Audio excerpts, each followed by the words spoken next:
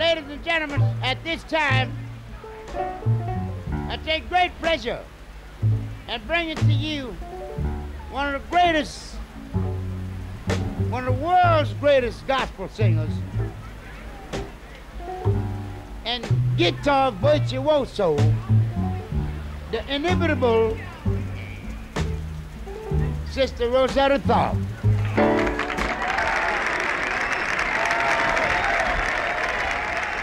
In the summer of 1964, in the pouring rain, from a disused railway station outside Manchester, a 49 year old African American woman with an electric guitar appeared on British television. Viewers had never seen anything quite like it. With her distinctive style of singing and playing, this remarkable performer would profoundly influence the course of popular music.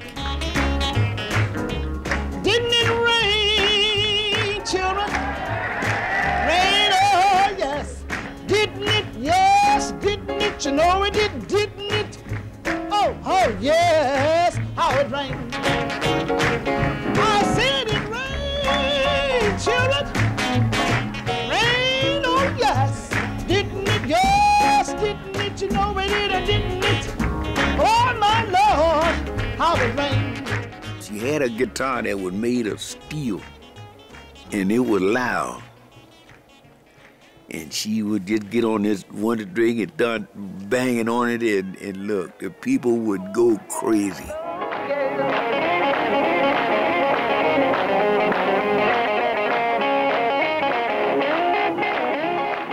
She could play a guitar like nobody else. Nobody. Let's do that again.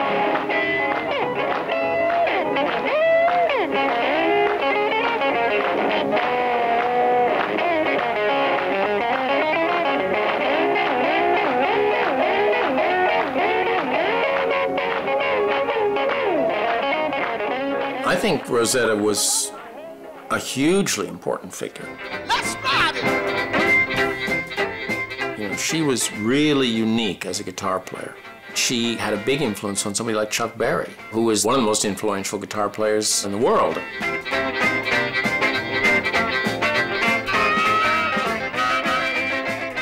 She did incredible picking. That's what really attracted Elvis was uh, her picking, and he liked her singing too. But he liked that picking first uh, because it was so different. Don't you know now this train is a clean train? Everybody ride it in Jesus' name because this train is a clean train. Oh, this train.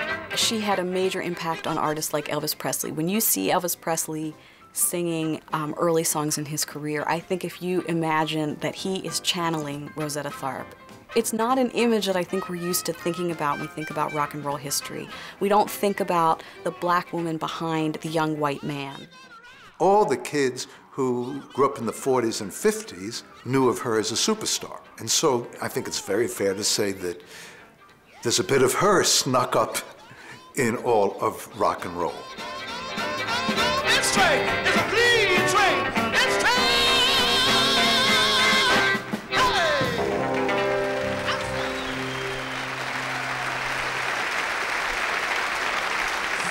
Sister Rosetta Tharpe.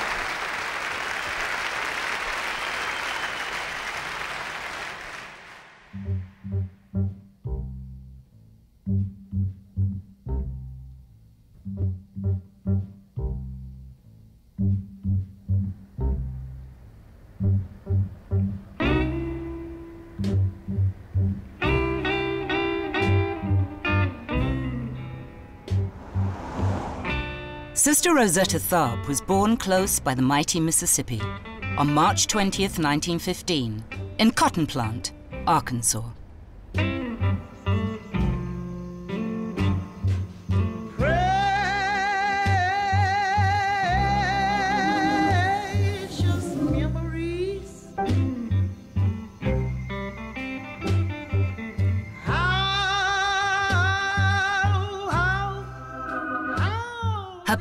Parents, Katie Bell and Willis Atkins, were cotton pickers.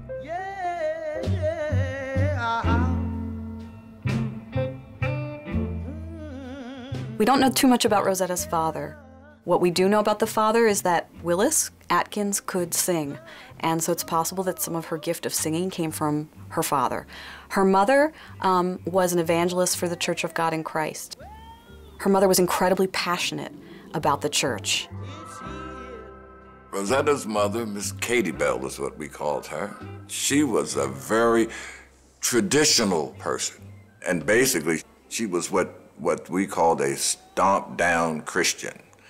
I mean, that's one that enjoyed stamping her feet and patting her hands and celebrating what she believes in.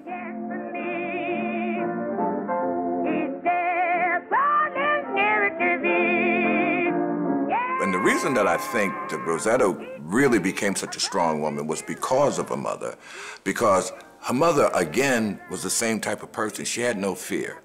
She would take her guitar, she would take her tambourine, she would take her chair, and she would sit outside and play for people and try to convert them and to get them to go to church.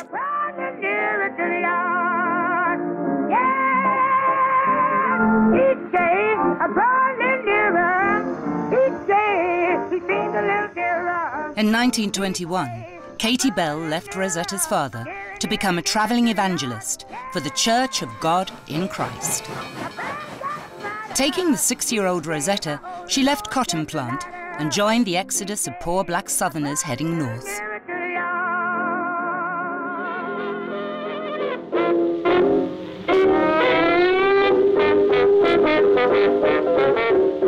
There was work in the great city of Chicago, and also something even more crucial for the young Rosetta. The migrants brought the blues from the Mississippi Delta and jazz from New Orleans. Rosetta is often seen as a country singer, but that's a fallacy. Her major development occurred very early. She moved to Chicago when she was six. She and Mother Bell joined Robert's Temple Church of God in Christ. And the Chicago Sanctified Church was bubbling with musicians and new songs. And so she was exposed to something that was new. It was not rural, it was an urban kind of religious singing.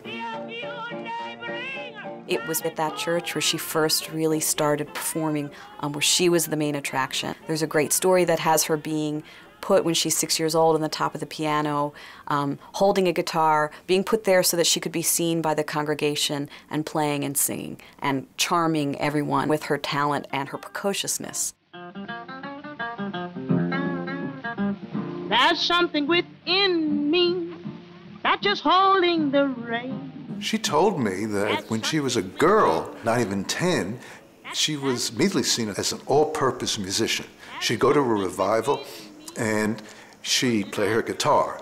And if the people would get happy afterward and shout, she would drop the guitar and run to the piano and accompany them with her piano chords. And then she might get up and cut a couple of dance steps herself. She was a phenomenal showwoman. On life battlefield, when with that pleading, my poor heart did yield. All I can say praise God, there's something within.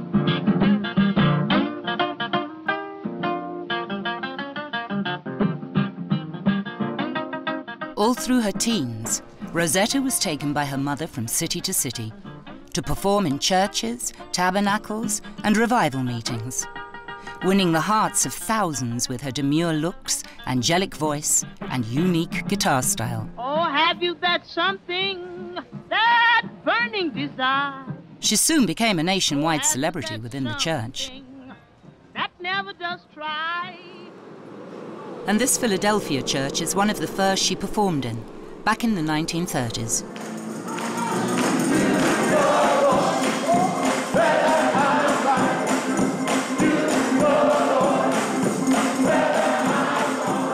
Those who heard the young Rosetta were inspired for life. When I saw Rosetta, I was, a, I was about maybe 10 years old.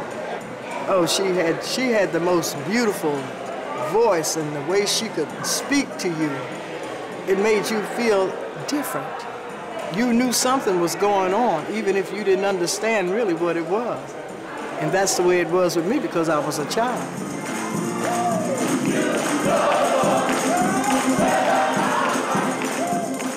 Of the hymns were expression of suffering and wanting to survive, many of them. And when she came and they saw the expression of her, the freedom that she expressed in her singing and dancing, it woke up the congregation. It focused them on something that was on the inside that they never gave expression to. Rosetta would start looking up. She didn't look at anybody. She looked up as if she saw God. And it, as if God was in her and she was communing with him rather than with a human being.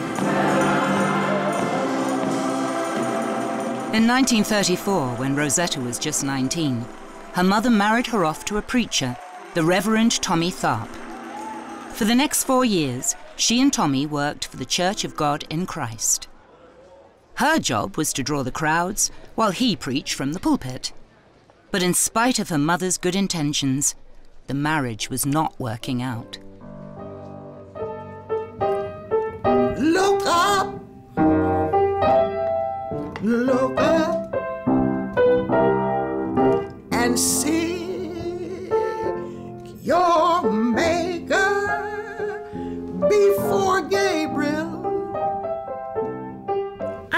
Sister Rosetta in the summer of 1937.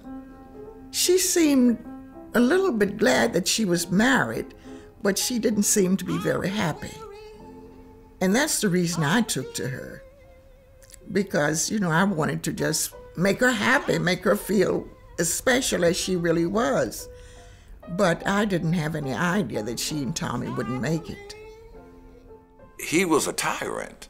Um, from what my parents used to say and talk about, uh, he seemed to um, come out of the real, real sub old school and believed in the kind of almost caveman like attitude towards women.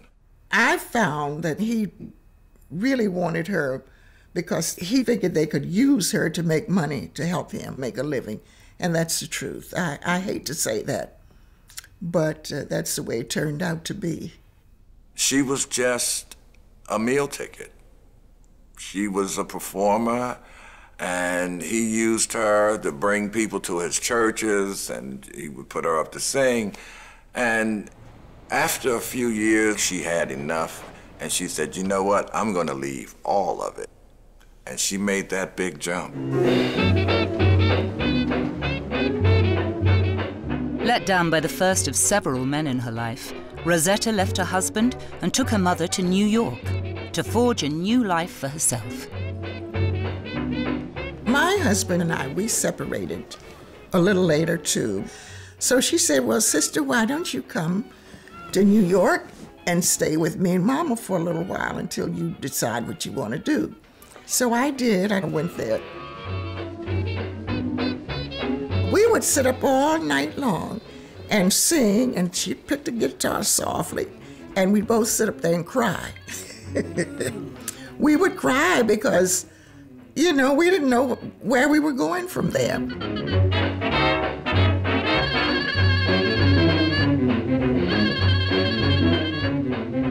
In a city full of nightclubs, Rosetta's talent was soon noticed. She was offered a spot at the prestigious Cotton Club, singing to an upmarket, white audience. But the song she was given by the men in charge made no mention of God, just pleasing her man. Four, five times, four, five times. It's my delight to swing things right four, five times.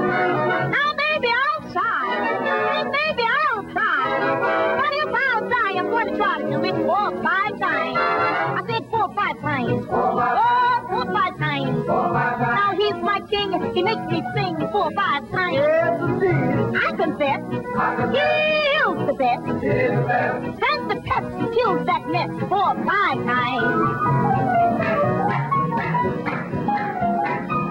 It was like a bomb had dropped on gospel music when she flipped. it, it was like, what? You know, I can't believe she's, that's Sister Rosetta Tharpe. She's not supposed to be singing that kind of music. Oh, she was criticized. and ostracized. I mean, the church people just, you know, just thought that she had just gone way off. Four, five, five. Four, five, five. Oh, four, five,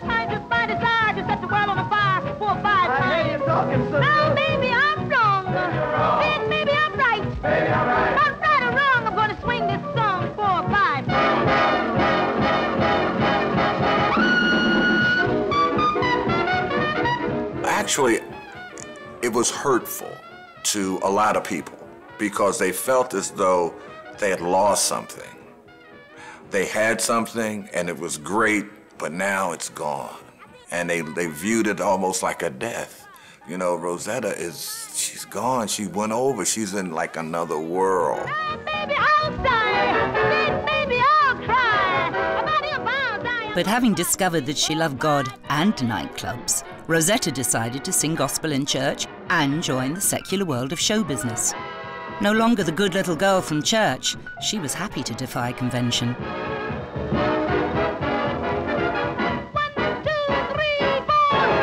four, five times.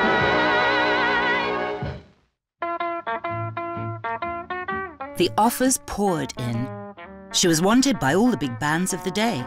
She decided to go with the band leader, Lucky Millinder, and manager, Moe Gale. In October 1938, she signed a contract with Decca Records, which was keen to capitalize on the novelty of a gospel singer with a racy new style. This was not the path that her devoted mother, Katie Bell, had chosen, but she stuck by her daughter.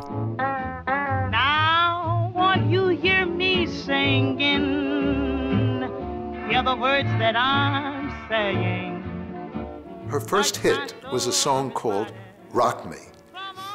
And the, the lyric is, Jesus, hear me praying.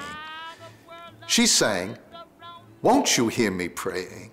So when, when she came to the chorus, when she sang, Rock me, and growled, Rock, it sounded really, to many people, like uh, an invitation and not to the altar.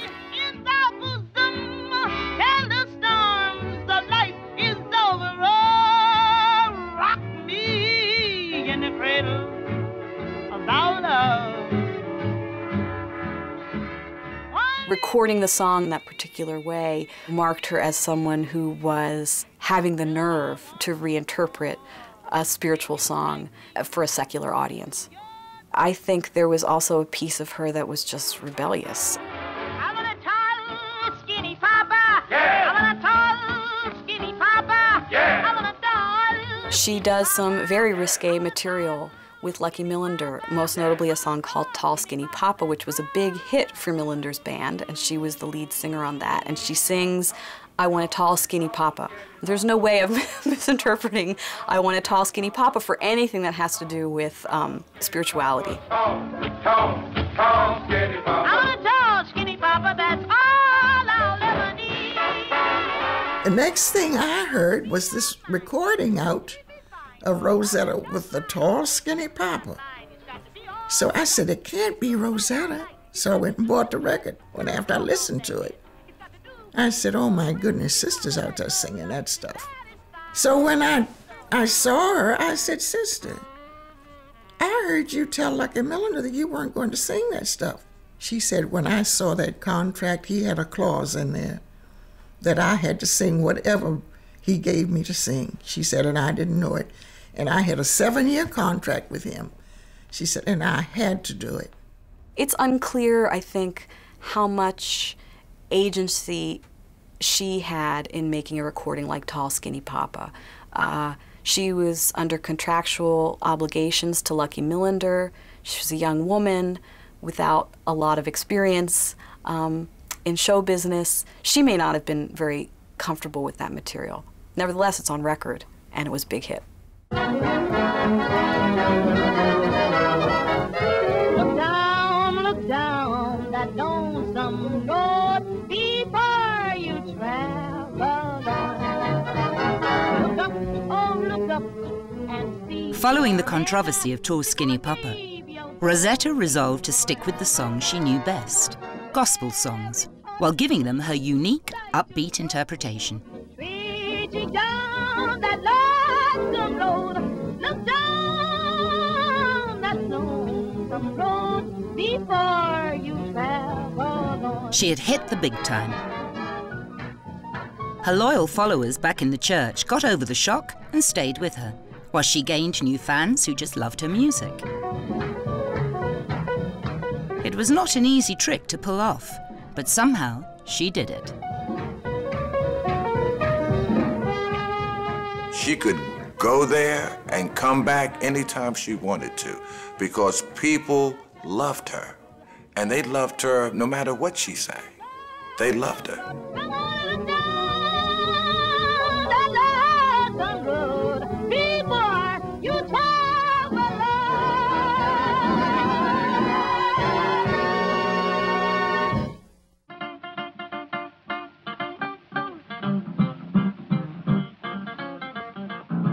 By the age of 25, Rosetta was rated among the finest popular musicians of the day. Here she is jamming with Duke Ellington at the piano and Cab Calloway on the right.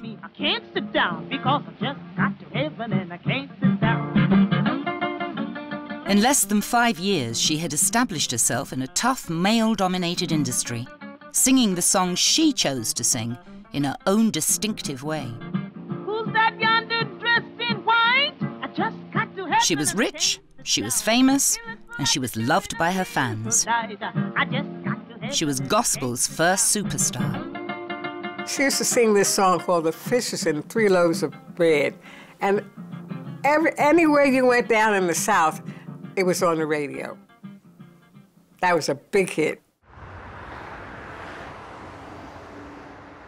Throughout the 40s, she spent much of her time on the road, playing to packed houses, accompanied by different gospel quartets.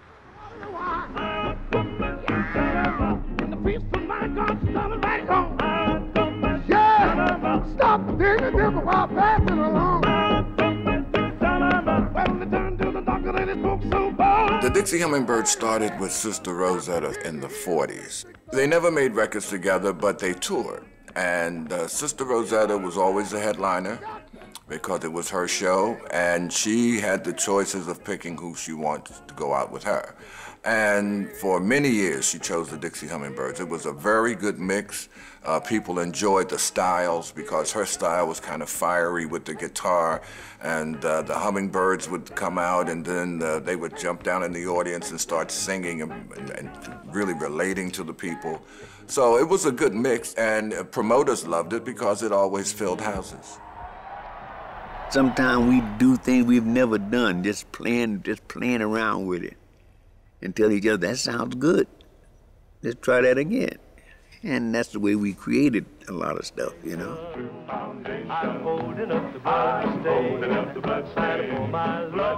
In a highly segregated society, black and white musicians performing together was taboo. However, Rosetta was happy to defy convention. She was more or less a pioneer in asking us to even to perform with her. She called us her, her four little white babies. And I thought it was so cute that, you know, that she referred to us as that, as, as that way. I thought that was just something I'll never forget. And we just loved to sing with her because when she started snapping her finger, man, and started singing on a tune, you couldn't help but sing.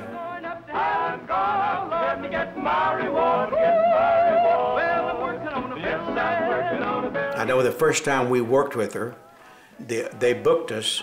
We went to the we went to the stage door, and some man came to the door, and uh, and we, one of us said, "Well, we are we are the Jordanaires," and he said, "Hmm, you you're the Jordanaires." Well, he said, "This is going to be a surprise to our audience." Sister Rosetta didn't tell him that we were white. she booked us, but she didn't tell him we were white. And it, it, when we first went out on the stage, they didn't really know how to take us, but then we started singing, working on the building. But then on then we were in.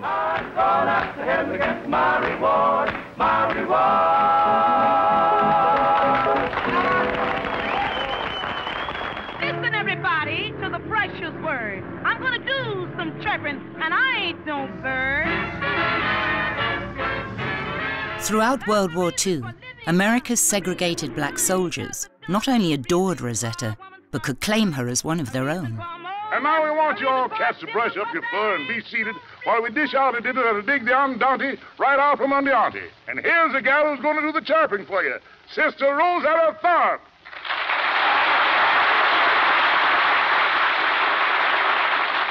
Sister Tharpe, say hello to Joe way, way out there. Hello, Joe, way, way out there. and what are you going to sing, sister? Down by the riverside.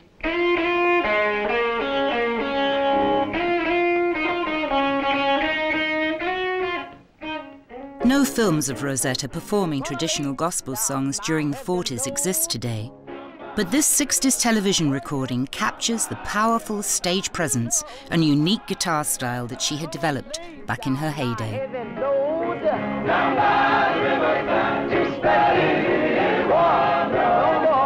Everything she had learned from her mother, everything she had learned from growing up in the sanctified church had stayed with her. She was mesmerizing.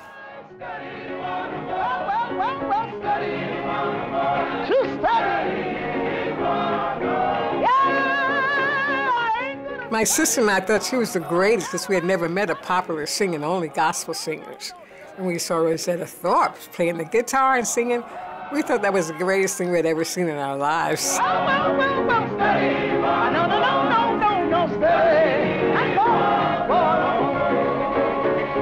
The audiences that Sister Rosetta performed in front of were average people. They were people who worked, people who were trying to better themselves, and this music was their inspiration. So when it came to a show that brought in people like Rosetta Tharpe, and there were lines three and four times around the block. Just to call her name, people would go crazy. And the people just really loved her. All she had to do was walk out on stage, but they knew they were going to get a good performance. And before she left there, the public was part of her and she was part of the public. And it was like family.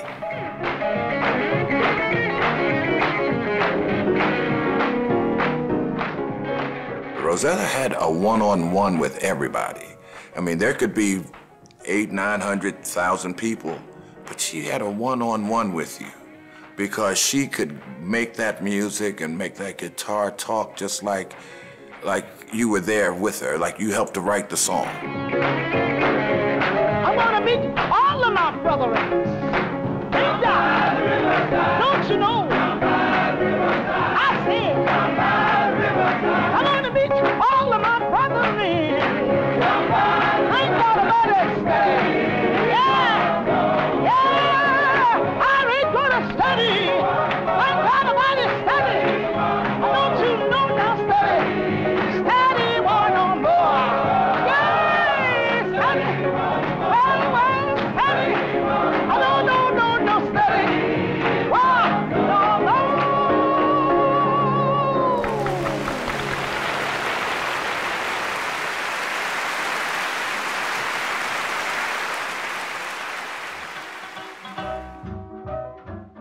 The biggest hit in Rosetta's entire career was Strange Things Happening Every Day, a song that reflected some of the stark contradictions of the times.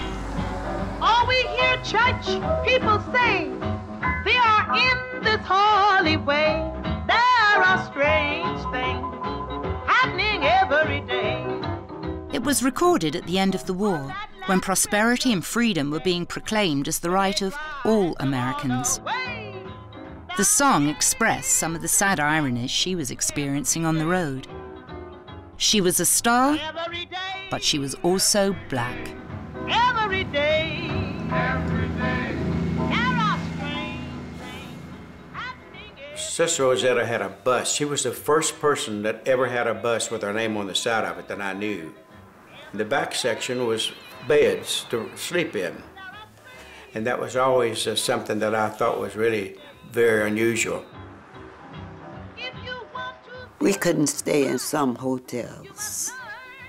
We had to sleep on the bus, so the bus was really a good idea. Being on the road with Sister Rosetta was very exciting because sometimes we met opposition and sometimes we met gladness.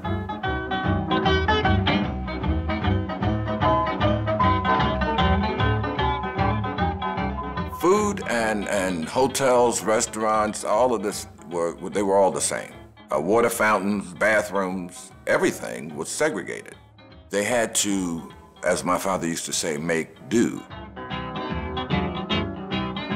Jesus is the holy light, turning darkness We would go in and eat, and we knew that she didn't have food on the bus, you know, or maybe she had crackers or cheese or you know, peanut butter or something like that. But uh, we would we would go we would take the, what we ordered, we would get her the same thing, and uh, and take it to her. Oh, every day. Every day. Yes, every day. Sometimes you found someone that took a chance and said, come around to the back door. And they would serve us. But uh, we had to bring it back to the bus still. We couldn't eat it there.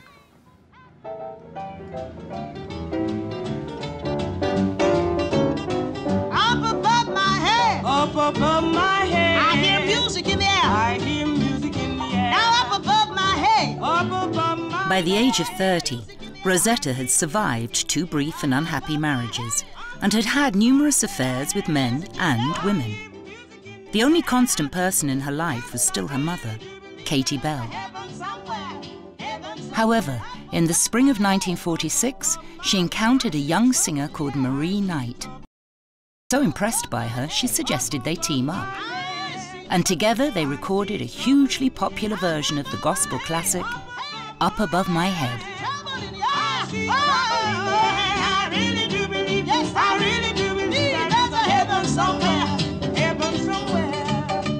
One of the things that made Marie and Rosetta so special as performers is that they were two women who could go on the road without any accompaniment but themselves.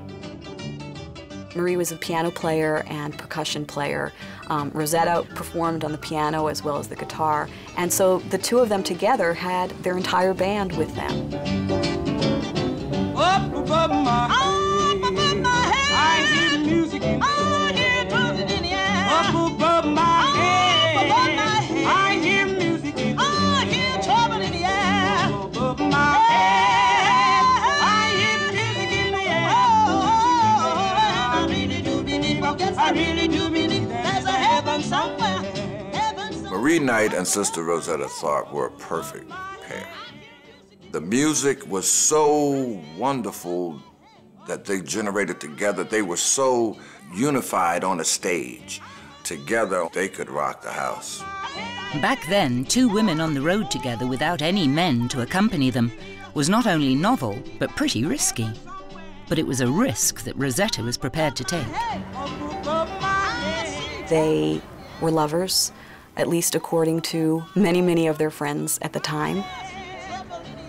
Within certain circles, they could probably be a little bit open about it, but obviously within the wider world, that would have ruined careers, it would have ruined reputations. But I think it was an open secret in the entertainment worlds in which they moved. In 1950, while Rosetta and Marie were performing in California, Marie's mother and two small children were killed in a fire. Traumatized by the loss, Marie drifted away, leaving Rosetta to carry on alone. Their dream of independence together was over.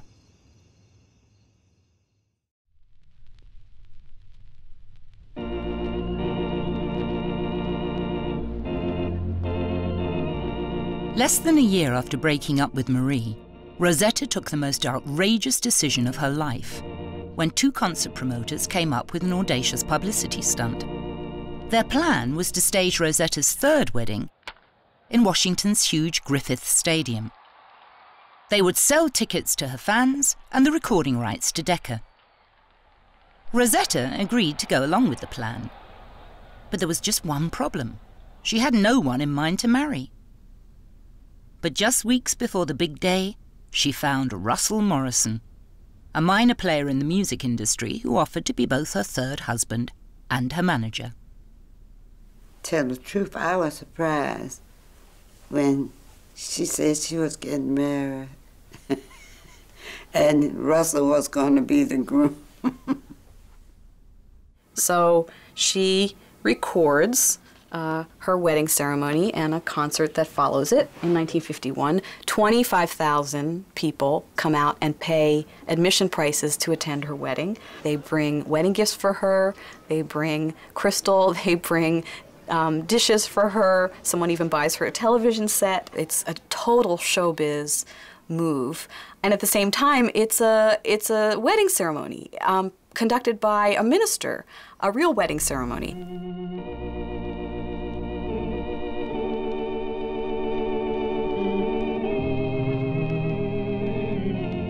Rosetta was standing on the pitcher's mound, and they had everybody around her and all of the matrons of honor and all these other people who were probably folks that the promoters got together.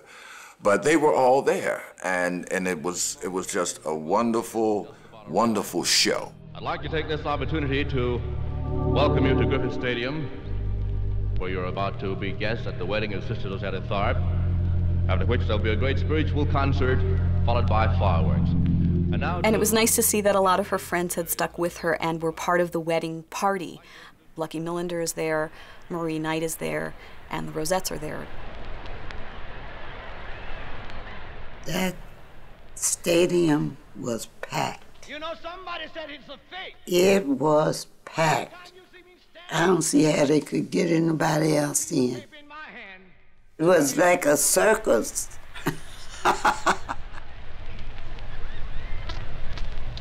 Rosetta, will you have this man to be thy wedded husband? To live after God's ordinance in the holy states of a matrimony? I mean, it, it resonated throughout the entire country. Every it was in newspapers. People talked about it. My parents were so excited about it. They were. I mean, for a month in my house before that wedding was just crazy. Take him by his right hand, Rosetta. Hold it. I, Rosetta. I, Rosetta. Take thee, Russell. Take thee, Russell. For my It was. It was like um, she was Cinderella, you know, and Russell was Prince Charming, and it was a storybook thing. That they are man and wife. Kiss the bride, man and wife. I didn't go to Sister's wedding to Russell. I just figured it was a, an, another something that she had gotten herself into. After meeting Russell, I figured that he just wanted an easy living. And I said to myself, oh my goodness, she's doing it again. Touching all these so, so high, can't get over him. So low, so low, can't get under him. So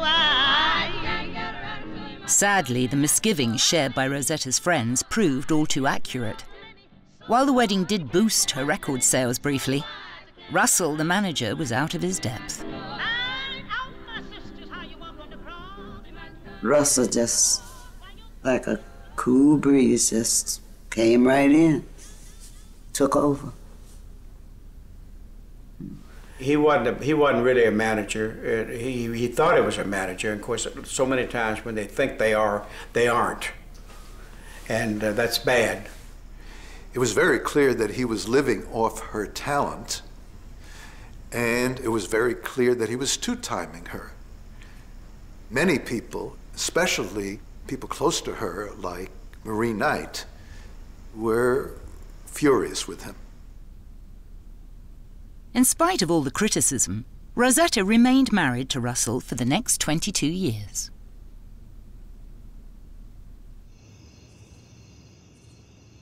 Meanwhile, back in the Mississippi Delta of Rosetta's childhood, young white musicians were just beginning to discover the raw energy and complex rhythms of African American gospel. There was a hip thing happening in Memphis at that time. There was a little church, and it was cool. It was a cool thing to do on Sunday nights only, you would go there, and there would be Elvis and some of the other guys from the area, and it was unusual because back in those days, white people had to sit in the back, and it was roped off. And we would sit back there, and we would watch these black spiritual singers sing on Sunday night.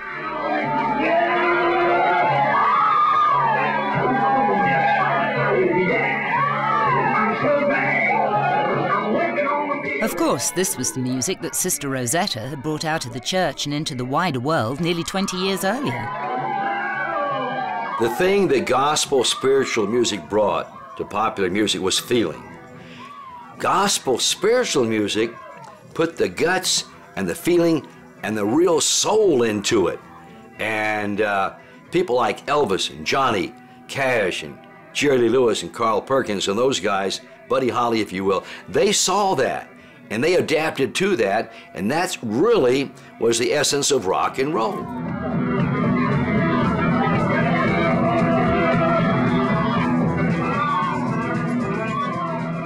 Thinking about it, Sister Rosetta Tharpe, she had this great feeling, and that's what Elvis was looking for, feeling, because that's what was that's where it all came from. She gave a lot of people ideas of how to perform. She, uh, the way she performed the song, the way she picked the song, the way she presented it, was uh, was an inspiration to anybody who, who stood around and watched her, and they all watched her.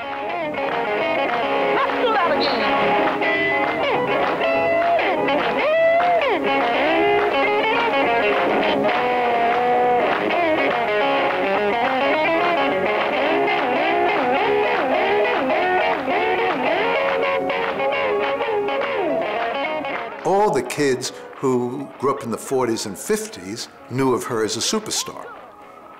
That was the singing that all these fellows had in their ears. The rhythm they heard, the instrumentation they heard would have been the sanctified piano and the kind of guitar that they knew from Rosetta's records. And so I think it's very fair to say that there's a bit of her snuck up in all of rock and roll. By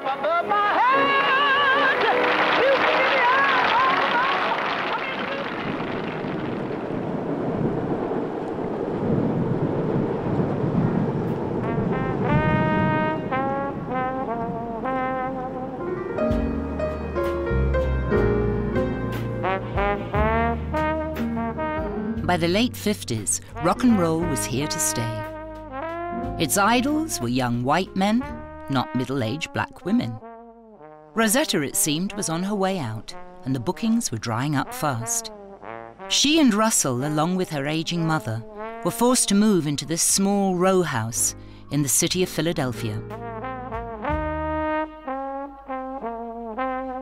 The reason Rosetta's career went south, very simply, is that Rosetta didn't keep up with the times.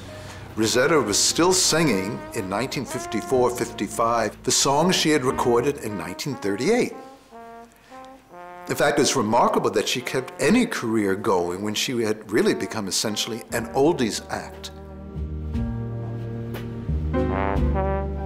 Then, in 1957, Rosetta got a call from one of her most devoted fans, a white musician in Britain.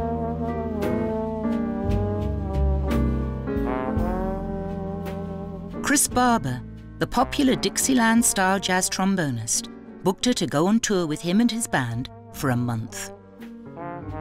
We got our, agent to contact her somehow, and they um, actually paid her to come to, to Britain. it was simple. And it was marvellous working with her. She was actually unbelievably good. And um, we learnt, as we thought we would, enormous amount from, from even the first day with her, never mind the, the, the, the whole month's tour.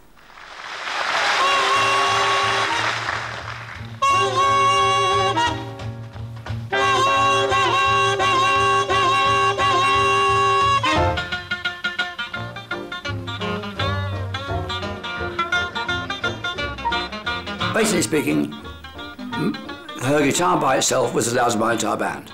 And it didn't bother anybody. It was beautiful music, it was loud, it didn't matter. It was, it was enthralling, totally enthralling. Everything it was totally, totally enthralling and totally convincing. This train is a clean train, this train. I said this train is a clean train. Yes, this train. You know this train clean train. Everybody ride it in his name. And this train is a clean train. This train. This train has left the Booked as little more than a supporting novelty act, Sister Rosetta stole the show. has left the station. Yes, this train. Until now, British audiences had only seen white imitations of blues and gospel. But here, on stage, for the very first time, was the real thing.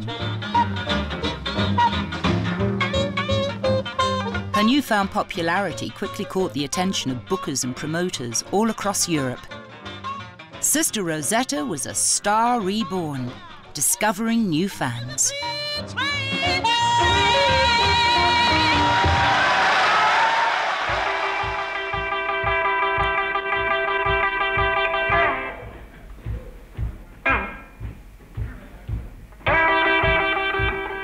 By the early 60s, her influence was continuing to spread as yet another generation fell under her spell.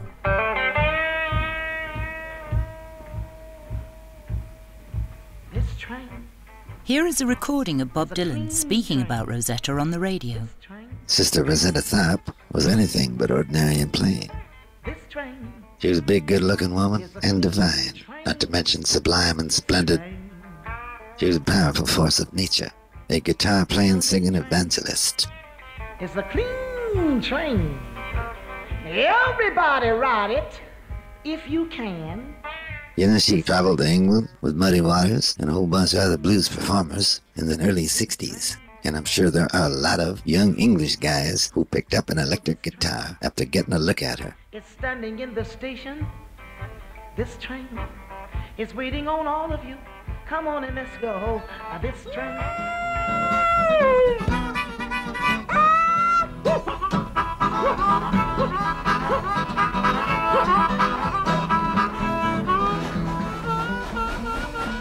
In the summer of 1964, Rosetta was booked by Granada Television to perform in a folk, blues, and gospel special. The musicians were American, the audience English students, the venue a disused railway station, Chorlton cum Hardy, just outside Manchester. The Manchester gig was a curiosity in the middle of the tour for us. It was kind of bizarre, but you know, we were all new to England and we were aware of all this interest in blues and gospel. We all thought it was strange, the setup with the audience on one platform and the musicians on the other.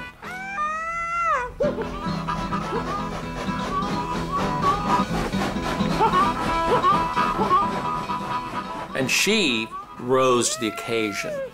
She loved the drama of the situation and to trying to bridge that gap between the platforms and sell the whole thing across the, the track to the audience.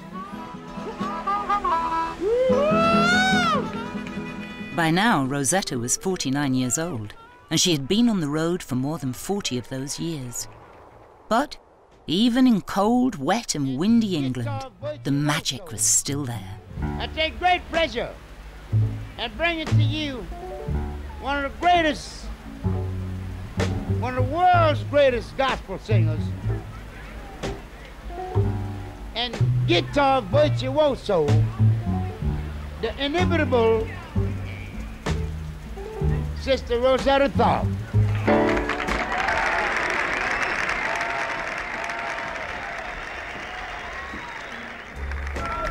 Horsey, all oh, the sweet horsey. Oh, this is the wonderfulest time of my life. And the people are so sweet to stay here. And I come in on a. Yeah. Let me tell you what I come in on. Oh, yeah!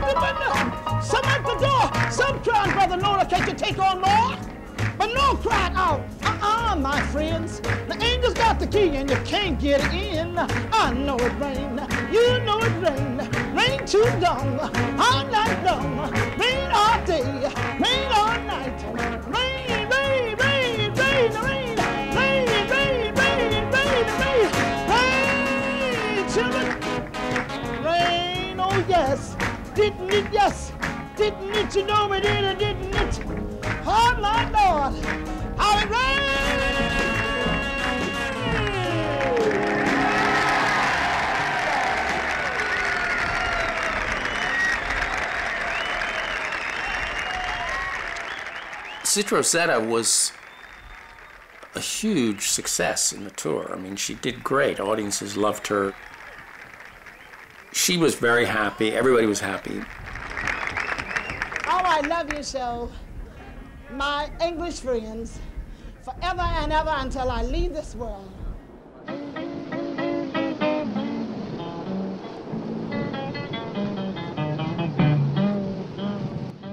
While Rosetta was away in Europe, her mother was becoming increasingly frail. In 1968, Katie Bell died. For 53 years, she had stuck close by her daughter, through good times and bad, as the one constant figure, reminding Rosetta of her faith in God.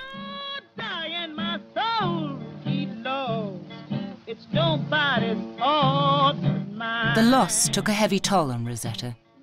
She became increasingly depressed, and to make matters worse, she was diagnosed with diabetes. I'm going to sing a song that maybe you wouldn't understand it, and maybe you do. A song that I love so dearly. And I have so many friends here in Copenhagen. For many, many years, I've been coming here. And then sometime my friends. Made in 1970 in Denmark, this is the last known recording of Sister Rosetta performing. Maybe you wouldn't understand that, but someone died who they dearly love. And mine did too. My mother died two years ago and left me alone. But nevertheless, I have you. I went to see her, and she had this black spot on her foot. I said, Sister, what is that? And she said, I don't know. I said, Sister, go see about that, please. Their arm hurt them. That's going to happen. But there is a divine power. I believe it. I don't know about you, but I got to believe it because I was raised that way. I sing this song. Precious Lord, take my hand, lead me on, me stand. I'm tired, you done worked so hard, and I'm weak. My body is worn. Oh, yes. But I got to go anyhow. Through the storm. She wouldn't listen to anybody. So the next thing, foot started turning black. Then she did have to go to the doctor. Then they found out they had to cut a leg off. Just the same. Sometimes she would call me and say, Sister, please come. Please come to see me. And I would say, All right, I'm coming. But the last few months I didn't go because, you know, Russell was acting like he didn't want nobody taking over from him. When I went over to see Aunt and said she was in the bed and she was, and she, she would say, Where's Russell? I'd say, Downstairs. And she would say, He's asking you about shows, right? And I said, no, he didn't say anything. He said, yes, he is. He, he wants to know if I'm going back. She said, and I'm going back. But I'm not going to tell anybody when I'm coming back. But I am coming back. But she never did. My body all, all suffering in pain. Whoa, yes. I got no one to call on. hear my cry, hear my call. Please hold my hand, lest I fall. Mm, take my hand. Whoa, precious Lord. Lead me on. Rosetta's funeral was very quiet. It wasn't any big thing. It was no elaborate funeral, I can tell you that. The church was half full, and Rosetta looked the best I had seen her in years. Marie Knight, her old partner, she made Rosetta up. She took care of her coiffure, of her makeup, of, of how the fabrics looked, and made her as glamorous as possible. She looked a star. I think I said she would sing until you cried. And then she would sing until you danced for joy. She kept the church alive and the saints rejoicing. Down at the river, I'll stand. Got my feet, please hold my trembling hand Mm, and take my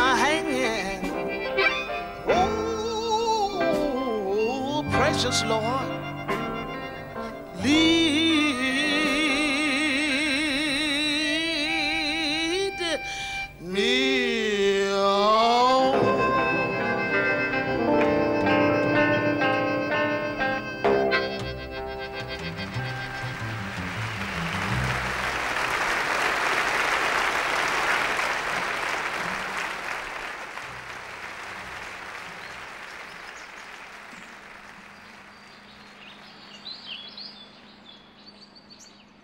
2008, some 35 years after Rosetta's death, the governor of Pennsylvania declared that henceforth the 11th of January will be known as Sister Rosetta Tharpe Day.